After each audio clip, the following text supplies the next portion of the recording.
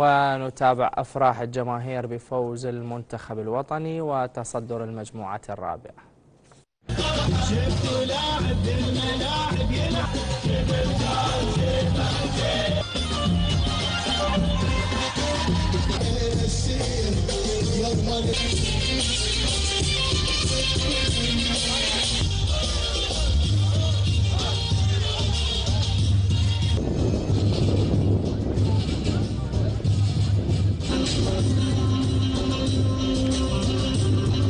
Thank you.